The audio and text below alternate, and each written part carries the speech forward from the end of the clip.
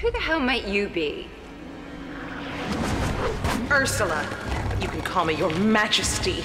I don't bow down to fish. Who are you? I'm the person whose valet you either knocked out, strangled, or tried to impregnate.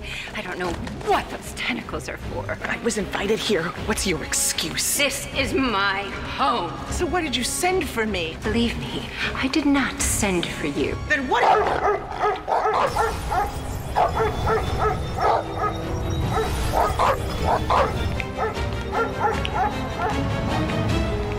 I wouldn't do that. Don't worry, they don't eat fish or dragon. Unless I tell them to.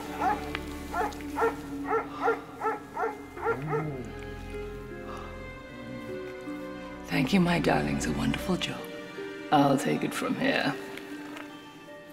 Now, who's going to tell me what in the hell I'm doing in this ghastly place? Lovely question, because this ghastly place is my home, and I didn't ask for any visitors. I received specific instructions. As did I. I don't care. You're trespassing. And do you know what I do with trespassing? Don't even think it. Now, now, ladies, don't tear each other apart. I need you all in one piece, or rather, three pieces. Rumpelstiltskin, it was you. Guilty.